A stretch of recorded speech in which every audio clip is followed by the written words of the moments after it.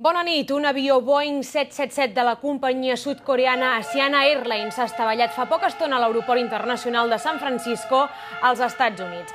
Aquestes que veuen són imatges en directe de l'aeroport de San Francisco. L'aparell que havia sortit de Seul s'ha incendiat només tocar terra durant un aterratge d'emergència. A bord hi anaven més de 300 persones, 291 passatgers i 12 membres de la tripulació. A hores d'ara encara es desconeix quin és l'abast de l'accident en quant al nombre de ferits o de víctimes mortals. Segons sembla, però, s'haurien desplegat els tobogans inflables d'emergències i diversos passatgers haurien pogut sortir per aquí. L'aeroport de San Francisco està tancat i els vols s'estan desviant ara cap a les ciutats d'Oakland, San José i Sacramento. La companyia Asiana Airlines és la segona més important de Corea del Sud.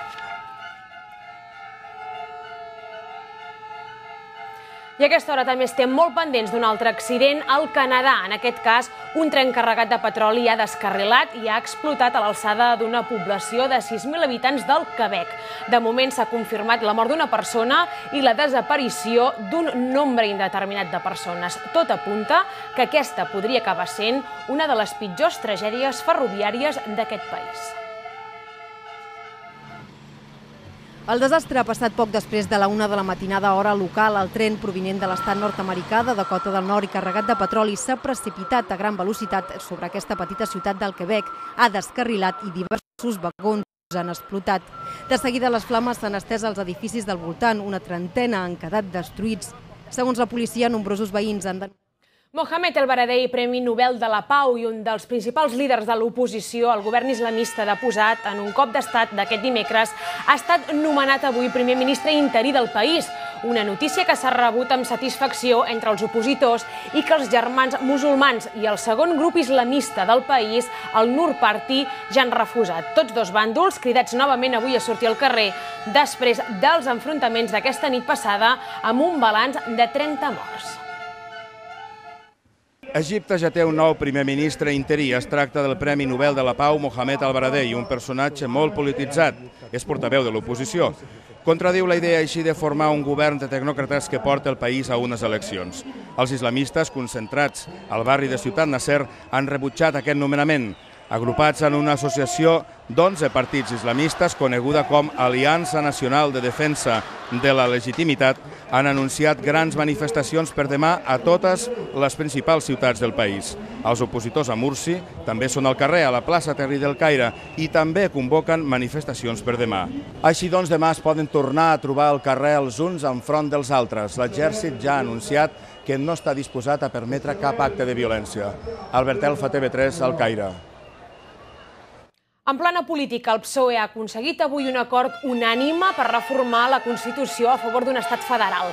Tots els barons territorials hi han donat suport, també el PSC, que d'aquesta manera, diuen, se situen a mig camí entre la recentralització del PP i el rupturisme que surt de Catalunya. Pere Navarro ha qualificat l'acord d'històric, tot i que les seves posicions no hi són recollides del tot. Tots els barons del PSOE han beneït la declaració de Granada que proposa un nou marc territorial per a Espanya. El líder socialista Pérez Rubalcaba proclama que el federalisme és l'únic punt de trobada enfront al centralisme i l'independentisme. Ni el retroceso ni la ruptura son la solución que España necesita. Pero tampoco lo es el inmovilismo, porque hay realidades que están ahí y no se pueden ignorar. La solución, una vez más, és la reforma en profunditat. El document ha aprovat una proposta oberta i generalista satisfà plenament el PSC perquè recull, entre d'altres, el principi d'ordinalitat en el finançament autonòmic que afavoreix Catalunya i també perquè Catalunya es pugui definir com una nació. Tant Pere Navarro com Rubalcaba parlen de document històric que tanca les desavinences entre PSC i PSOE. Aquest document el que fa és un punt en comú de quina és, de què és el que defensem tots els socialistes del conjunt de l'Estat. Torno a dir, és un acord històric i els altres partits hauran de definir-se a partir doncs, d'aquest doncs, document. Y ese modelo con el que vamos a dirigirnos a la sociedad catalana y al conjunto de la sociedad española, ese modelo lo comparte hoy todo el Partido Socialista. Este era la dificultad. Esto es lo que había que hacer porque había que rehacer este modelo, porque es verdad que las cosas han cambiado mucho y creo que en esto hemos dado un paso de gigante. Por tanto, no, me lo ha preguntado nadie, no lo he dicho yo, pero es evidente que estoy satisfecho. Creo que hemos recuperado con el Partido Socialista de Cataluña lo más importante, que es un modelo que que además busca un objetivo fundamental que és resolver un problema. Superat l'escull sobre el model d'estat, el PSOE i el PSC tancaran aquesta setmana el nou protocol que ha de donar més autonomia als diputats socialistes catalans al Congrés dels Diputats. Josep Capella, TV3, Granada. Des del Brasil, on és de visita oficial, també ens arriba la reacció del president de la Generalitat. Artur Mas agraeix els esforços del PSC per convèncer el PSOE, però dubta que serveixi de res. Està bé que es dialogui, està bé que s'arribi a acords, està bé agrair aquells partits catalans que estan fent esforços per intentar estovar les posicions dels partits espanyols i convèncer-los de que el camí de Catalunya és un camí doncs, que s'ha de fer d'una manera més lliure, però també vull advertir, sobretot, de que no ens deixem eh, ensarronar per determinats cants de sirena, perquè a l'hora de la veritat doncs, eh, la política espanyola és la que és, la mentalitat dels partits espanyols durant molts anys ens han demostrat que és la que és, i no podem eh, en absolut doncs, caure en el parany de pensar-nos que ens obriran les portes fàcilment. Esquerra Republicana també ha posat avui sobre el paper els seus plans, en aquest cas com hauria de ser la transició cap a una república catalana independent.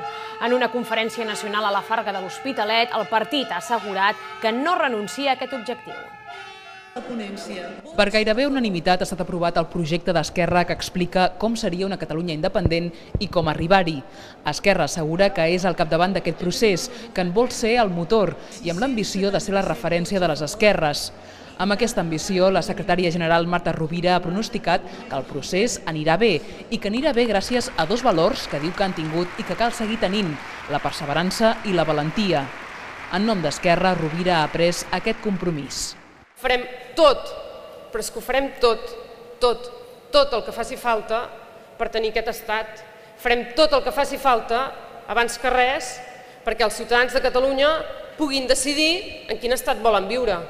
Joan Manuel Tresserres, coordinador del text, ha defensat que el projecte d'independència té per objectiu lluitar contra les desigualtats i anar a favor de la justícia social. Per això, sense citar el PSC, ha qüestionat que un partit d'esquerres se'n desmarqui. Quina és aquella esquerra que vol ser esquerra i que se situa al marge d'aquest procés, no reconeix l'hegemonia, no reconeix la revolució democràtica i no reconeix l'oportunitat de la transformació social? No és esquerra. Muriel Casals i Carme Forcadell han estat algunes de les ponents de les diferents taules rodones que s'han organitzat, aquesta també amb Vila de Badal i Salvador Cartús.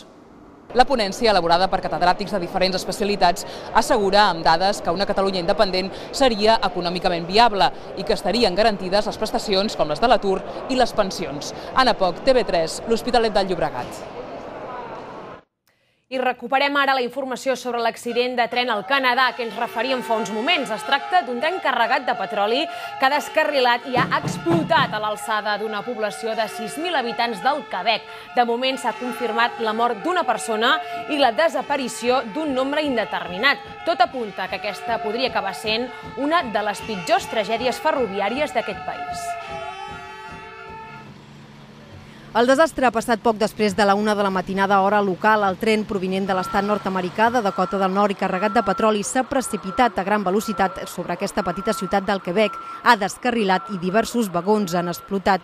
De seguida les flames s'han estès als edificis del voltant. Una trentena han quedat destruïts. Segons la policia, nombrosos veïns han denunciat que no han pogut contactar amb familiars que viuen a la zona afectada. S'ha decretat un perímetre de seguretat d'un quilòmetre al voltant del tren per temor de noves explosions. De fet, hores després de l'accident, els bombers ni tan sols havien pogut acostar-se al lloc de l'accident per l'elevat risc. Al tren hi havia una setantena de vagons plens de petroli. Un miler dels 6.000 habitants d'aquesta ciutat a tocar de l'estat nord-americà de Maine han estat evacuats i traslladats a allotjaments improvisats. Les autoritats han demanat ajuda als bombers dels Estats Units per poder fer front al sinistre. De moment no se saben les causes que l'han provocat, però en el moment de l'accident no hi havia conductor. Segons la companyia ferroviària, havia deixat el tren parat a l'espera del relleu, però per causes desconegudes s'ha posat en marxa. Doncs això és tot. Tornem a les 11 en punt per actualitzar aquestes informacions i la resta de l'actualitat del dia. Fins després.